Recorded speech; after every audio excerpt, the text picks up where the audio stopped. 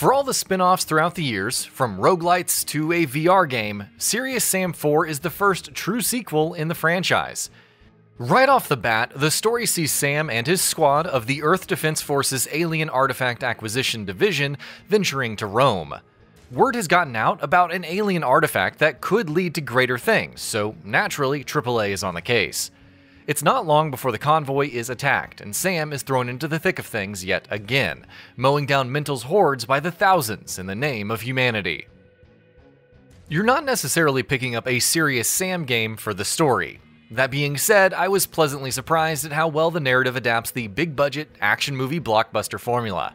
It's got all of the tropes you would expect Sam punching out his superior officer, one liners upon one liners, the enemy commander that cowardly mocks our hero, a somber guitar that plays during quieter moments to remind us of what's lost. The list goes on. None of it is fairly original or top shelf, mind you.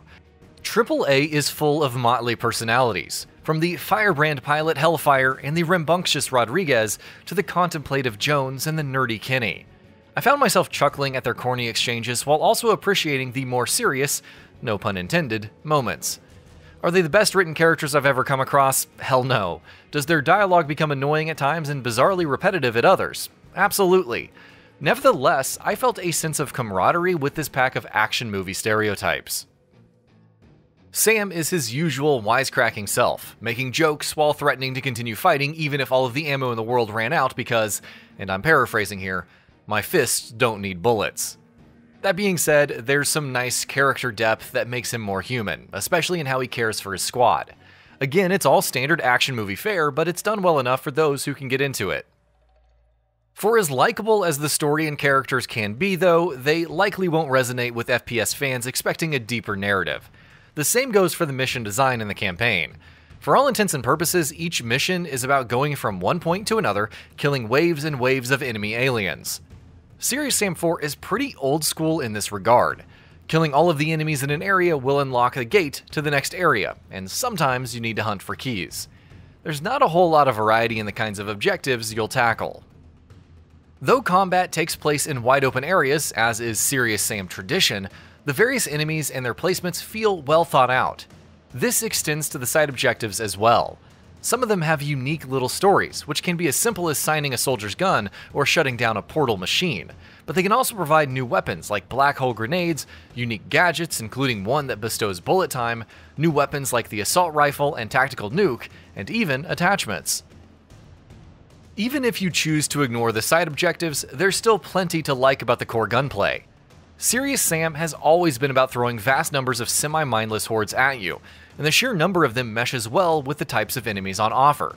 The freakish processed may be easy to dispose of from afar, but throw in some charging Kleer, various Gnaar, and a werebull or three, and some beheaded kamikaze, and suddenly you're running, circle strafing, jumping, and quickly switching between weapons.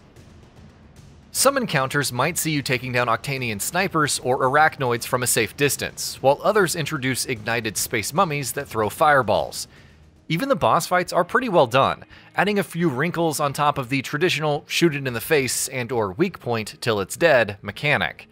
It also doesn't hurt that despite predominantly taking place in and around Rome, there are all kinds of interesting vistas to explore, including the cityscape, colosseums, ruins, Weapons feel appropriately powerful and responsive, whether it's the pump action shotgun or grenade launcher.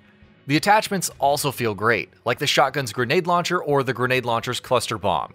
It all makes you feel like a badass while still creating an air of danger thanks to the sheer number of swarming enemies. Not every new mechanic feels like an instant win though. There are now melee finishers, and they can be upgraded to restore health or take down bigger enemies. The problem is that they can only be initiated from the enemy's front. Dodged a processed and want to execute a finisher from behind? Well, you can't. In fact, you have to be perfectly in front of it for a finisher. This becomes an even bigger issue when dealing with foes like the Kleer, since the window to finish them is so small. Sam isn't impervious during the actual finisher animation either, so having to attack perfectly from the front is an additional detriment in many cases. The same issue plagues the new ability to ride werebulls. Once the skill is unlocked, simply hit E to mount a werebull, at least in theory. You have to do it from the front, which is a tall task when it's charging you down for massive damage. Even backed into a corner and literally jumping on it didn't offer the prompt to ride it. The other skills are fairly straightforward, from faster reload speed and dual wielding weapons to using signposts and other objects as melee weapons. Hunting down artifacts allocates skill points, with each skill only requiring one point. You're free to mix and match, and reassigning skills can be done freely at any time. In terms of presentation, Serious Sam 4 is good overall, barring some issues here and there. Rome looks aesthetically pleasing, while all of the aliens are sharper and more suitably menacing than ever. The attention to detail is also well done, whether you're traipsing through ruins or wandering through forests. Of course, you sometimes have to stop and admire the sheer number of enemies running, screaming, and galloping towards you. Sound quality is a slight notch below the visuals, especially when it comes to enemy sounds, which sound old school by default, but it's still executed well overall.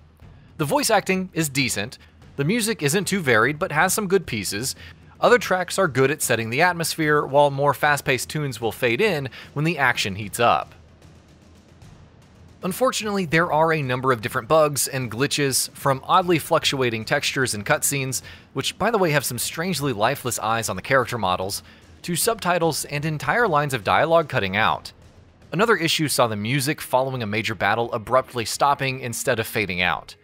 Audio issues didn't occur that frequently, and there weren't any crashes or major performance issues. The AI was a bit iffy, with enemies sometimes running into walls, or more rarely ignoring my presence after killing their friends. These will likely be addressed pretty quickly, and while not heavily dragging down the experience, they do dull its sheen a bit. Overall, Serious Sam 4 is no masterpiece, but its combination of blockbuster movie action with non-stop shooting action is still pretty fun. And that about does it for this video. If you enjoyed what you watched and want to see more from Gaming Bolt, you can always hit that subscribe button and turn on the bell icon next to it. That way you will never miss any of our videos.